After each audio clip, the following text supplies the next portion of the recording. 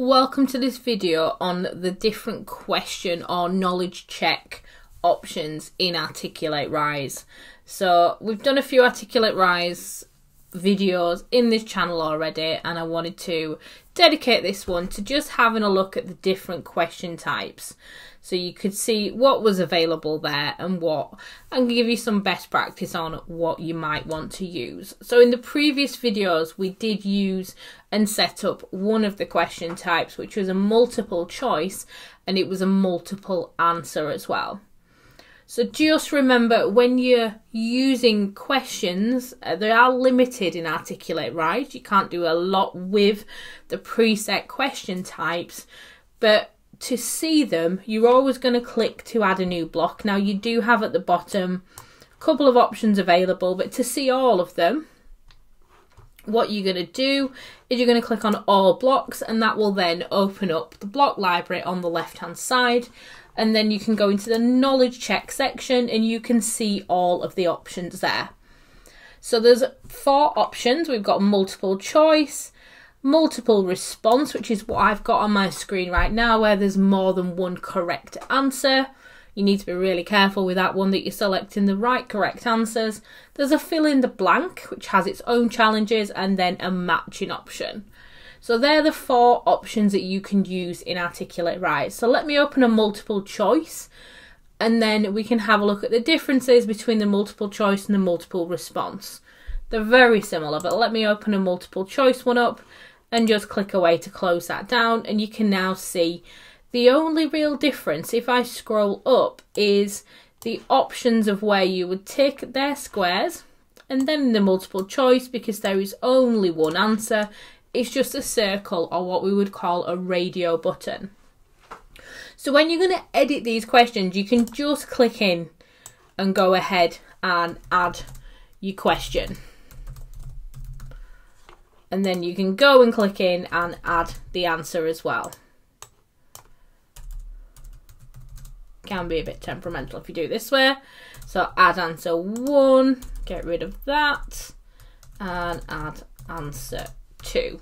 Or to the left hand side, you can go into the edit option and then you can see you can type everything in there as well. So you've got a question type option. Now if you have selected the wrong one, if you wanted a multiple response here instead, then you can change it at this point and you can add your question in so you can copy and paste or just free type it in there on most of the question types you can add a photo. So if you click on that camera icon you can just go into and select a photo.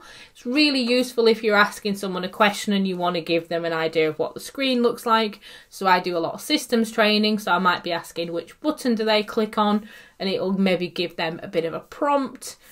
And then in here, you can add in more options if you want more options than what is already on the screen. And what you will need to do is select the right one. So when you're doing a multiple choice, a single answer, you just need to make sure you select the right one. And then just like any other question type, you have a number of feedback options.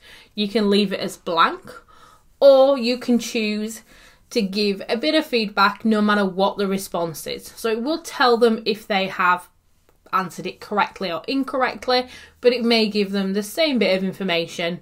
Depend doesn't matter whether they've done it right or wrong.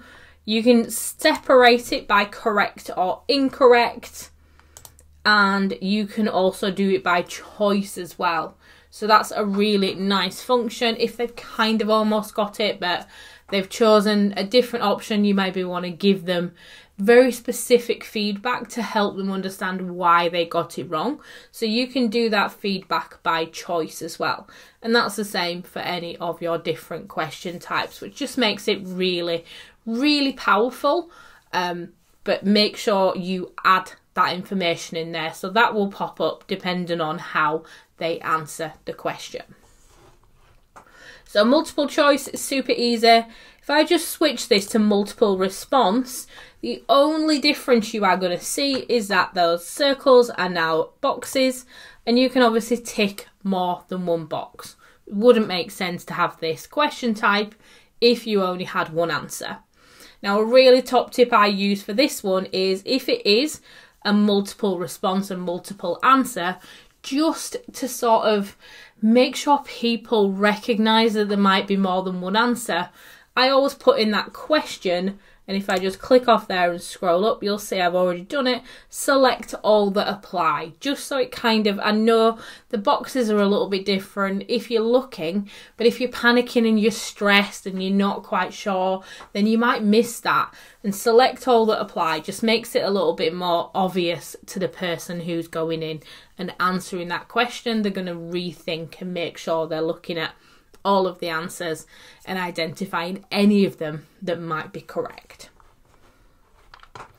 Let me just scroll down and we can have a look at the other question type. So if I go into edit and change this to a fill in the blank, what you've got here is a question and then you're going to actually have to type in the right answer. You can add multiple answers and you can make it case sensitive or not case sensitive, depending on what you're putting in there. And this is really useful if you want to. I'm doing systems training and I want to know what option someone's going to click on, so I'll get them to type that in. Just be aware of variations with spelling, especially UK and US spellings with an S or a Z. Make sure you put all of the options in there or any common spelling mistakes with the word that you're looking for or the words that you're looking for, the phrase, then put them in there. You can add as many acceptable answers as you need to to make sure that if they kind of got it right but they've maybe done a spelling mistake or they've missed a capital letter you can you can change the answers there to make sure that the system knows that they had got that right so it's really useful Obviously, if they totally spelled it wrong and it wasn't an acceptable answer, then they will get it marked as incorrect, even if they knew what they were saying, but they just mistyped it. So it is a challenging question type to add in. You want to really think about the questions if you're going to use a fill in the blank and make sure it's nice and simple and the word or the phrase is easy to type out and there's limited opportunity for someone to get that wrong. The final option then is matching. So matching allows users to match bits of information together. So I use it quite often if there are multiple sections of a system and you go into each different section to do something different. I might have um, a a list of sections, and a list of processes that they can link together, so I can test to make sure they're going into the right part to do the right process.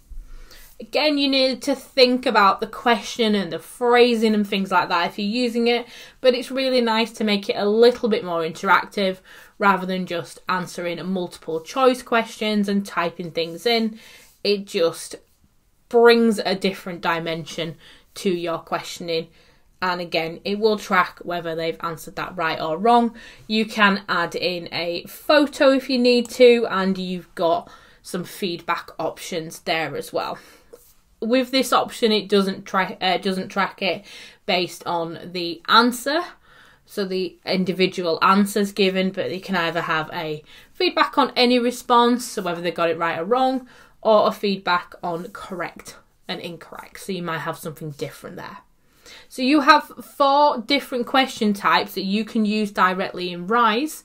You've got multiple choice, multiple response, you have fill in the blank and matching in order to check the knowledge of your learners when you're creating content. So please do have a go at those, have a play around, think about what is the best option for the question and the knowledge you are wanting to check don't forget to like and subscribe and let me know what videos you'd like me to see next record next.